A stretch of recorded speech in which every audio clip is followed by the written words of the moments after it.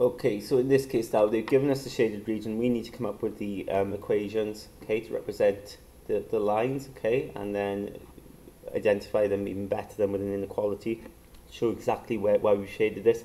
You can see the first one's given. x is less than or equal to 3. That's x equals 3, isn't it? Less than it means use that side. If you look at this now, horizontal line, of course that would be y equals minus 1, wouldn't it? That would be your um, horizontal line, okay, because um, it goes through y equals minus 1. But ask yourself then, are we above or below? Well, we're above it, aren't we? We're above it, so that means it's got to be greater than. Okay, so that means we got y is greater than or equal to minus 1. So we can fill that in down here. Um, the other one then, we've got this here, okay, this line here. Now, with this line, of course, it's sort of diagonally sort of line, so we need to work out the um, y-intercept, okay, cuts the y-axis at 0, okay, so c is actually equal to 0, right, because it, cause it cuts the y-axis there. And then we need to get the gradient, so if we just pick two points here,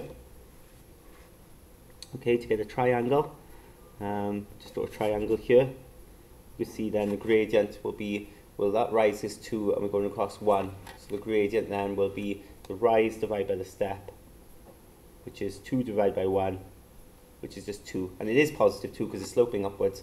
So your equation, the form y equals mx plus c, yeah, will be y equals 2x plus 0, of course, right? Which is just y equals 2x, isn't it?